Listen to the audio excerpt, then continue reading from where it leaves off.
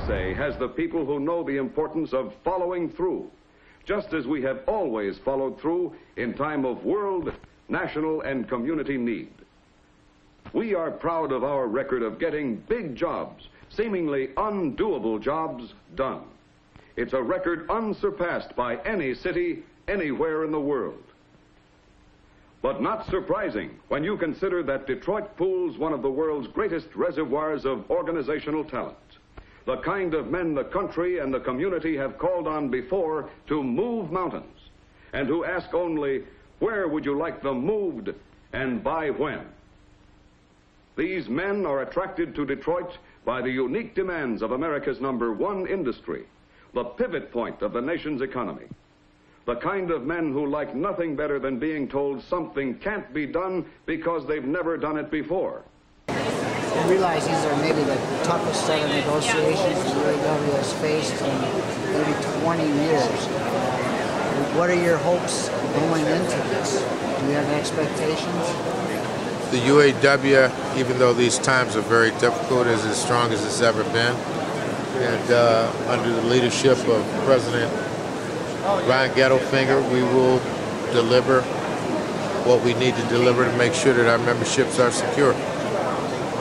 Um, you know, like the, the one brother said, uh, the two-tier is very unpopular on the floor.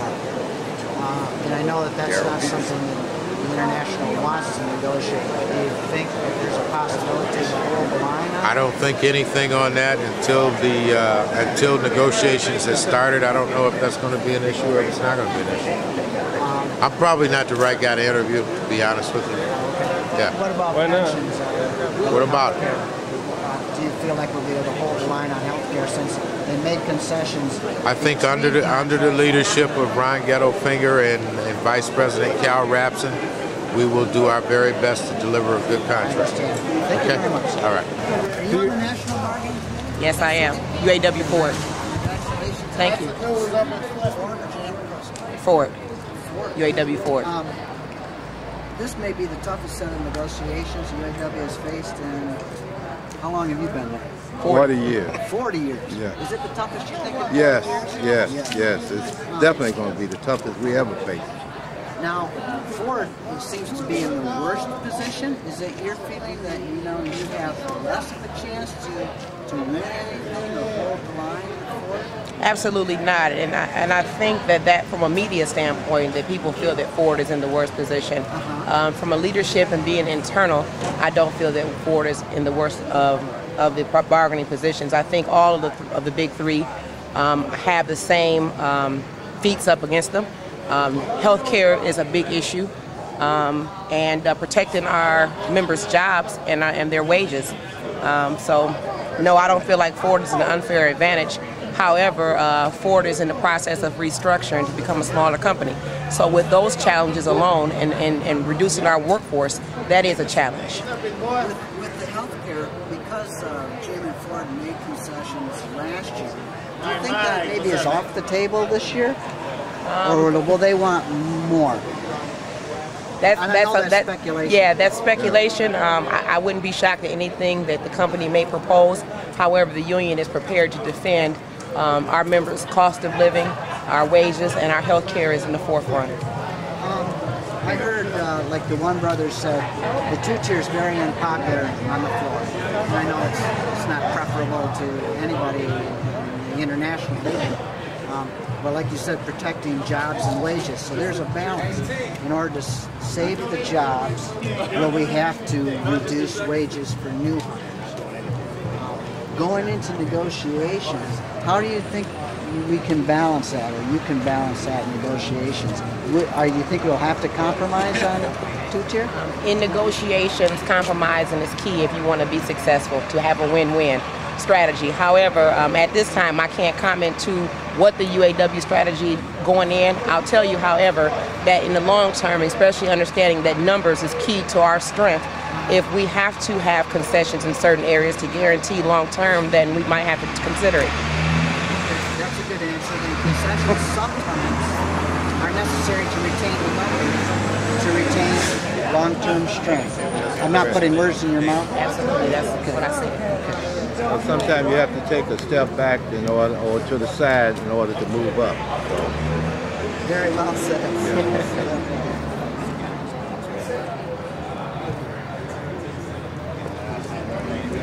Um, anything that you'd like to add? That you know, your expectations going. On. My expectations is only to be able to listen uh, what the members want us to deliver to the leadership team, to be able to come back with something that is very comparable to what we have today.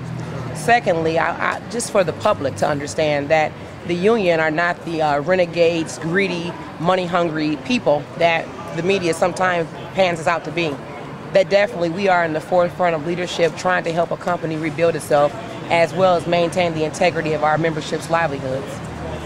Very good. Thank you. Very, very well said. I couldn't have said it no better. Going into those these negotiations, as tough as they are, it's going to be maybe the toughest. Is it the toughest you've ever seen? Uh, well, this will be my fourth one. I believe Right. it will be the toughest. I haven't got there yet, but I believe it will be. It And- will be the toughest. And this is your fourth one. Yes. Um, now I heard the brother talk about how unpopular two-tier was Mm-hmm. on the floor, and I know it's not popular with anybody. Do you think that you're going to be able to hold the line on those two-tier wages? Uh, I, I believe that we'll do whatever it takes in order to be able to keep a company afloat and keep a union viable. So you may have to compromise. Well, no, I'm not saying that because I don't know what negotiation. When everything's open when you get to negotiations. Yeah. You know, the doors open up. Uh, um, I mean, will, will there be discussion about two-tier? I'm imagine so. I know there They- will. they- it was last time and the time before then too. Uh huh. Well, you know, at one time there was two-tier at Visteon, Uh huh. and we were successful in order to be able to negotiate those brothers back into the Ford system. Do Uh-huh. you remember that? That happened twice. Well, they've got it now, though, right? Well, I'm talking about back when it was Visteon. When they first went to Visteon, Uh-huh. they hired. Uh, That's right. That's they hired right. them. We Yeah. brought them in on the And two-tier. you raised and them we up. raised them up. So Yeah. you know, our union's about raising people, not about taking them down. And, yeah, and with Ron's and uh, and the negotiators' uh, leadership, uh, hopefully uh, we in the Ford department get the opportunity to lead. I think we can set the best pattern. If you have the, opp- you think Ford will lead? I know. For, I hope they do lead. I always do. Well, Ford seems to be in the worst position. Well, you know, sometimes that's the best people, to talk to first. Oh, I hadn't thought of that. I thought you went with the strongest company. No, because if you went to the strongest, then what did the weak do? Uh huh. Get weaker. Uh huh. So I mean, you know, I think I think we can work our difference out. if We went to Ford first. You're close to retirement, and I know that's yes, important to you. Yes, it is. Um, well, no, it's, uh, you know, I could have. I turned down the buyout because I was supposed to be taking the buyout and leaving. Uh-huh. But they asked me to stay for negotiations, so it's not about me. It's about what I can do for my membership before I leave. Yeah, and, and in the next, uh, now since there were already concessions on health care between the contracts, do you think we're going to face more in the next set of negotiations? Oh, I don't like to say everything's on everything's on the table. You know, So that wasn't taken off the table just because concessions were made last year. It's not off the table. It's, Well, cons- no, because I, I'm, I'm not privy to hear that information of whether it would still be on the table. I imagine everybody's going to be talking about health care. You know? Uh-huh. We're talking about uh, maybe even doing some things about getting it back for retirees. yeah, I hope so. So, so I mean, that, that's our position going in, that, that we Uh-huh. improve on what we lost. And are you from Visteon? Am I from where? Did you come out of a Visteon? No, I'm from uh, uh, Seminary. Okay. Uh, we build a focus on expedition navigator. Yeah, because I was wondering about the pensions. Now with Visteon being Ford employees for life, quote unquote, uh, how are they? Do you, do you have any idea how they're going to manipulate that? If those people that stay at Visteon, I know there's a lot of No, I don't. No, I'm not in. The, I'm not privy to that Uh-huh. because I'm not in negotiation. I know they're doing some negotiating out to uh, Sheldon Road right now, but with Value, Uh-huh. Value, I haven't. But no, I haven't heard of it. What sort of strategy do you think it'll take for the union to fight back? Are we? Do we have the strength to go on strike? Can we actually use Oh that, yeah, we that always got, we always got the strength to go on strike. We- do you think we that the, that the bit of money union, the union might strike? It's a possibility. Yeah, it's a possibility. There's always a possibility of a strike. If you know, or if uh, you know, if, if things don't go our way, yeah. We, we don't like the strike, but yeah, there is a possibility. Okay, you would strike. Do you think we would strike Ford as weak as they are? I believe so.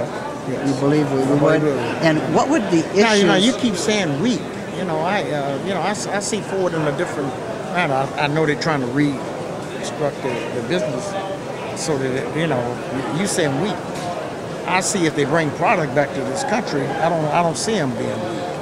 I mean, you know, you can give a perception that I'm weak and, and you're building plants in China and you're, you're taking business offshore.